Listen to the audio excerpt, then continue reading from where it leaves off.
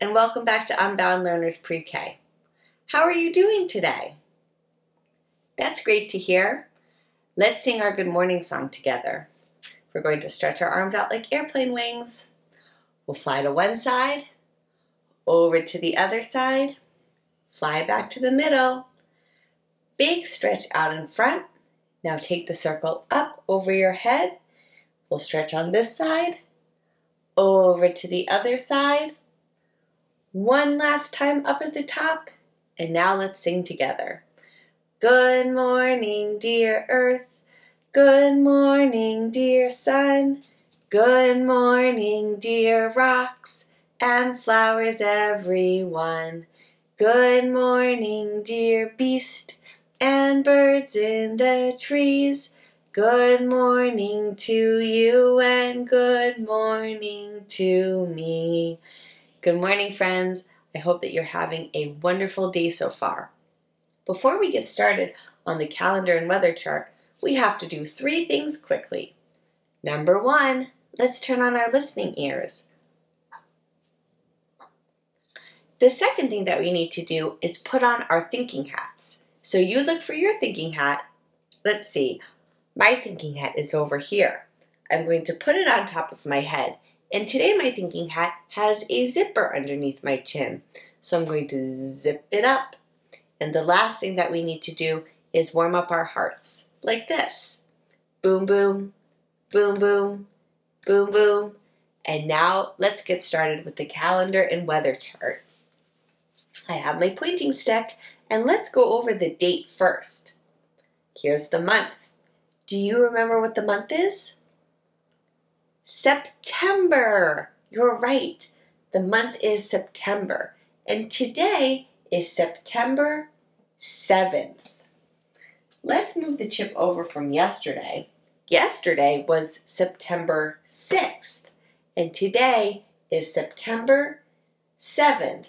And the year is 2021 or 2021. Let's take out our counting fingers like this. We're going to warm them up just a little bit and give them a stretch. And let's see how many days we've had so far in the month of September. Will you count with me? One, two, three, four, five, six, seven.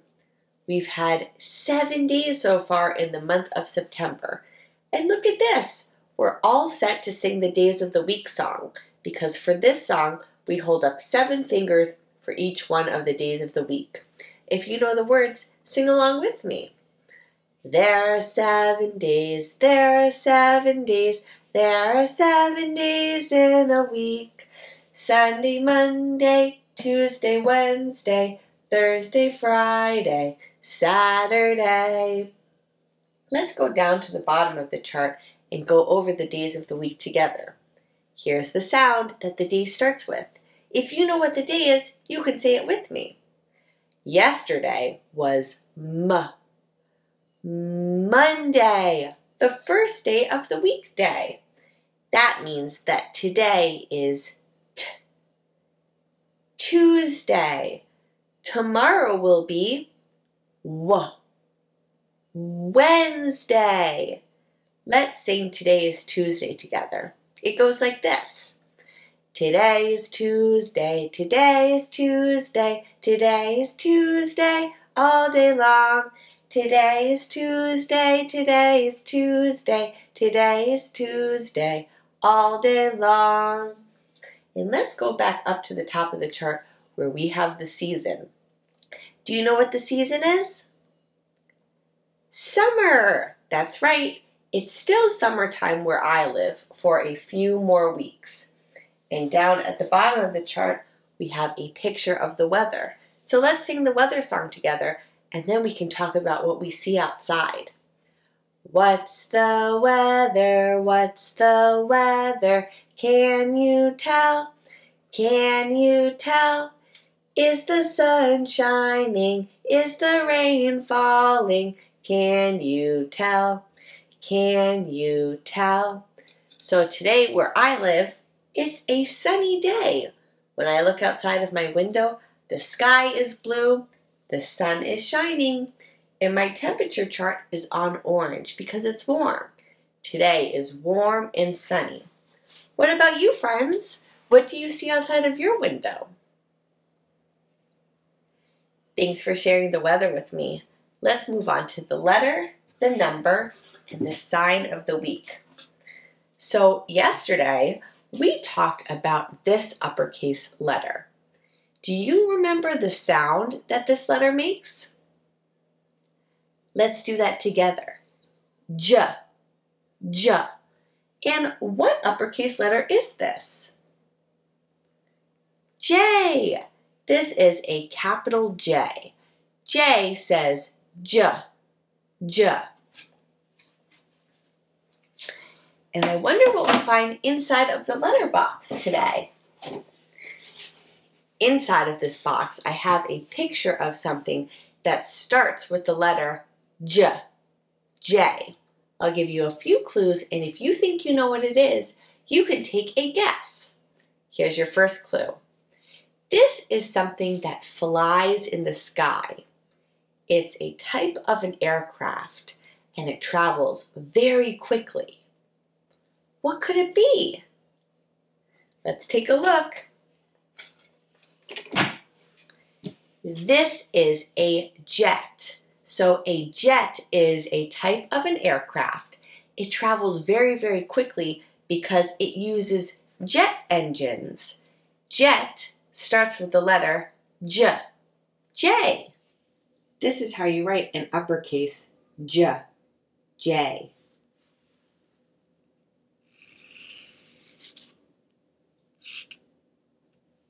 One more time.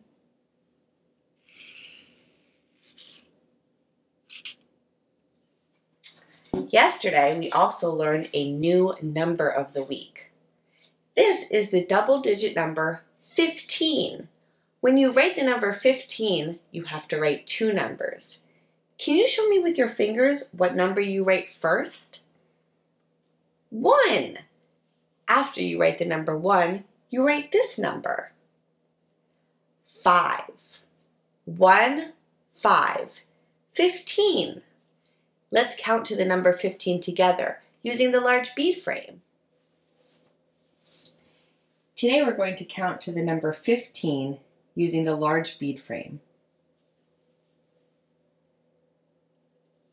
10, 11, 12, 13, 14, 15, 110, 5 units, 15.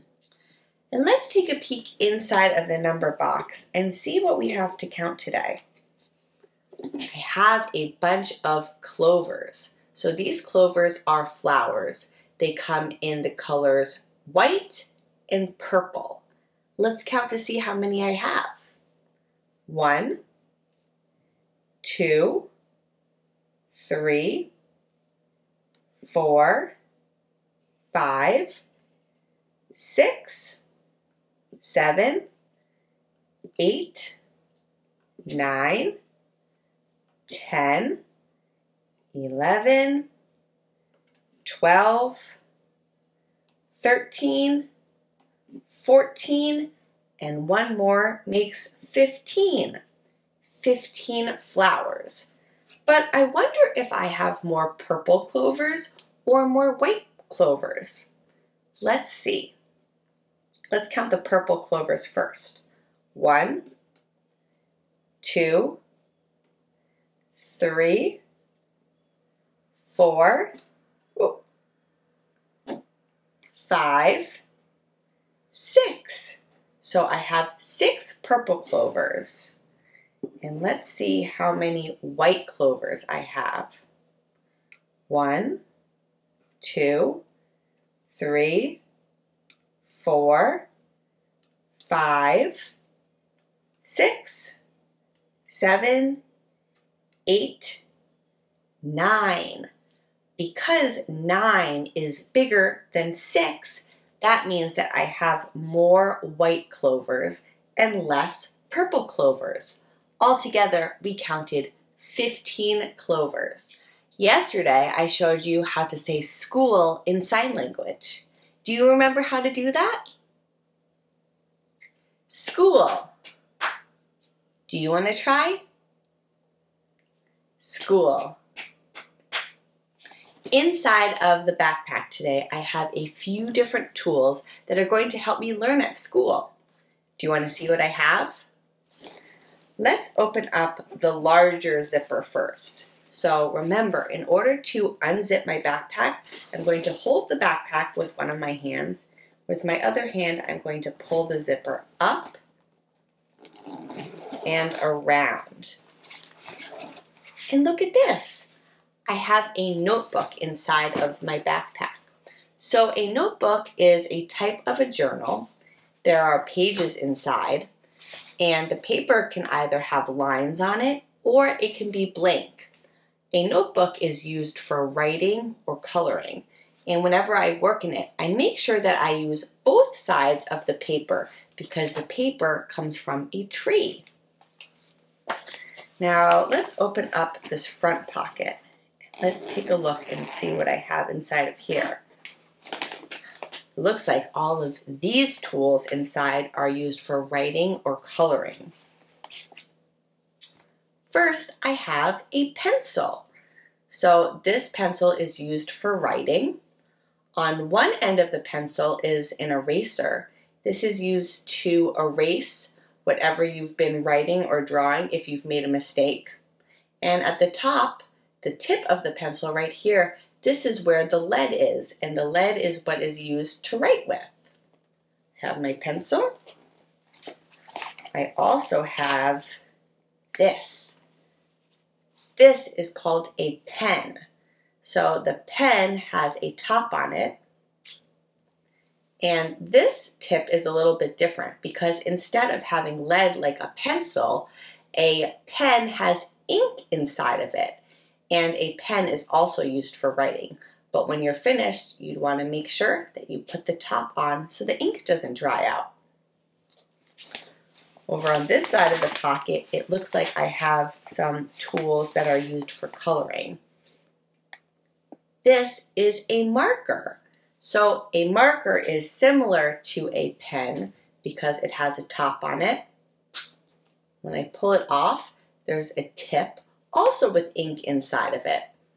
And I always have to remember to put the top back on so the ink doesn't dry out. And the last thing that I have inside of my pocket today is a crayon. So crayon is also used for coloring, but unlike a pen, or a marker. A crayon is made out of wax and then it has a paper covering on the outside. So let's put the crayon back, the marker back, pen, and pencil. And now I'm going to zip up the backpack.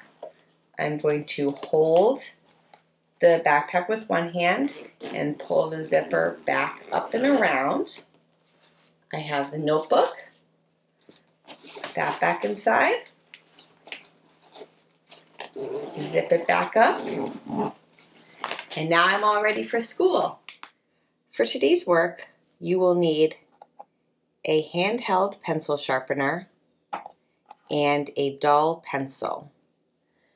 So as you can see, the tip of the pencil right here is pretty dull. The lead is inside of the pencil, and that's the part that we write with. And this needs to be sharpened. So I'm going to use my pencil sharpener to sharpen the lead on the pencil. Now, some pencil sharpeners have two openings at the top.